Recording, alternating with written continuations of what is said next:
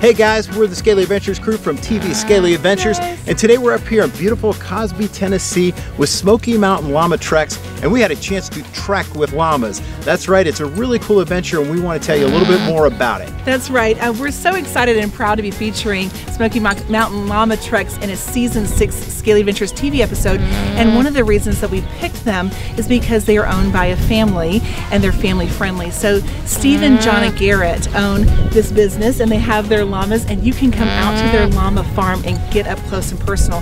That's very important to us as a family. It's important for us for our TV show so that we can show viewers up close these amazing creatures and take them on very cool adventures and then make memories as our family together, right Pierce? That's right, yeah. And when you get there, it's a lot of fun. You yep. get to get up close and personal. You don't have to stand mm-hmm. behind a fence to pet these guys. You can get right inside with them, have a ton of fun, feed them graham crackers, pet them, all kinds of fun yep, stuff. And brush them, yep. Yes. Learn about the husbandry, which is really fun. Then you can come up on the mountain mountain for an adventure, right? That's Rick? right. The cool thing is they have several different treks that you can go on with the animals. Now, mind you, wear some comfortable shoes because you're trekking. There is no riding these guys, you're trekking them. Mm-hmm. But the cool thing is there's several different adventures that you can take your family on and they can make something that will work the best for your family. So remember to check them out here at Smoky Mountain Llama Treks. And also, I know, hey, I'm a dad and I know a lot of moms out there go, well, that's to be expensive, right? No, if you're up here in the Gatlinburg area, it's no more expensive than it would be to get into any major theme park. So if you want something that's going to be more fun than a roller coaster